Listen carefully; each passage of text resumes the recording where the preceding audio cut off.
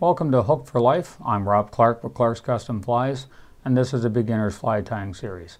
Over the next few videos, we're going to be tying some very simple patterns, three form materials, and simple steps in order to tie some of our favorite patterns and some of the best patterns you can use to fish with.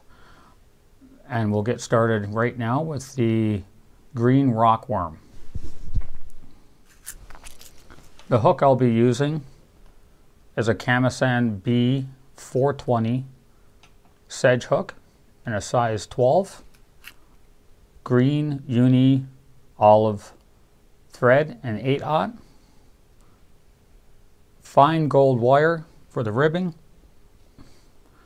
and green caddis green rabbit fur dubbing, and a small black bead for the head. The first step we need to do is put the bead on the hook. I'm going to rotate the hook and the vise 90 degrees so the hook point is facing straight up. So now I've got the bead in a small pair of tweezers. I'm going to slide the bead onto the hook. I'm going to rotate my hook again 90 degrees back into the vise for our tying point and slide the bead forward. Now the bead that we're using and all the beads that you buy will have a small hole the, on the top and a larger concave hole in the back. What you want is a smaller hole to go forward towards the eye of the hook and a larger concave side to go towards the back towards the barb of the hook. The size of the bead will depend on the size of the hook that you're using and the size of the fly that you want to tie. The next step we're going to do is I'm going to put a thread base on. I'm taking my thread, wrapping the body, I'm going to trim off my excess, and I'm going to bring my thread wraps down past the bend of the hook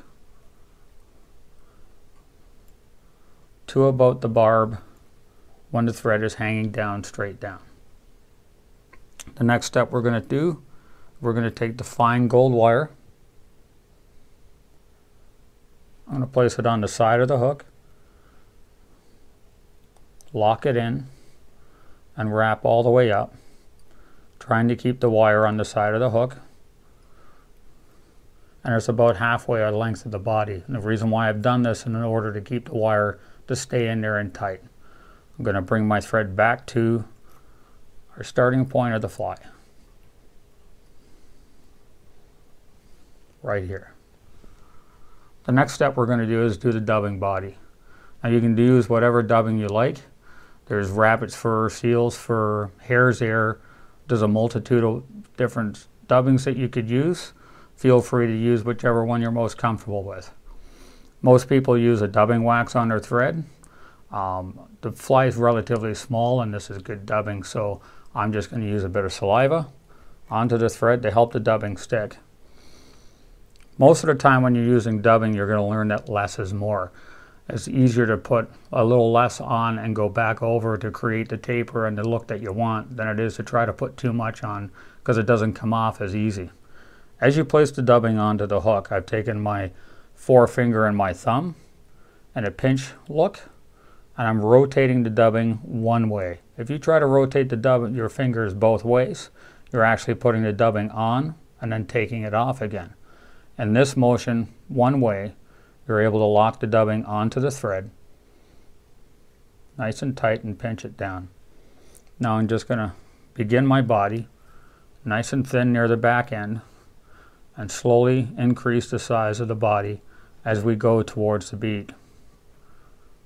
What we're looking for is a nice taper in the body, a nice natural look, and a thicker thorax in behind the bead. This is nice and simple because of dubbing is all one color and we can easily create a nice tapered body.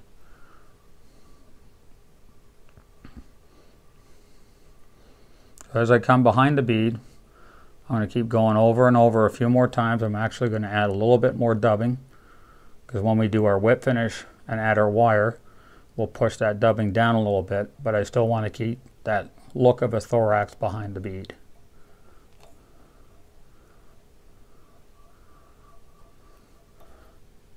Just like that. The next thing we're going to do is bring our gold rib up. The amount of ribs and turns that we put on the body will depend on the shank length of your hook, and it'll be a little bit of personal preference as well. Some patterns will call for an exact amount of turns, but in this case we're probably looking at about three or four with the size of the body. I'm going to take my wire and have my hands just placed relatively at a 45 degree angle and bring up some nice, clean, soft wraps as even as we can right in behind the bead. I'm going to do two turns of my thread to just lock the wire in. And then I'm going to come in with my scissors and trim off the wire as close to the bead as we can. Now what we tried not to do was cut the thread, but I did. But in this case, just don't panic. Everything's locked into place. We'll start the thread in behind the bead once more. Do two or three, four turns to lock in your thread. Trim off your excess thread. And then we're going to come in with a small whip finish in behind the bead. Two or three or four wraps. That'll be entirely up to you, depending on how you would like to lock it in. There's four. It's locked into place trim my thread. And there we have the green rockworm. Very simple caddis pattern. You can tie it in several different colors to imitate the caddises that you have in your area or the time of year that they're hatching. Enjoy this pattern. It's simple, effective. Have a great evening.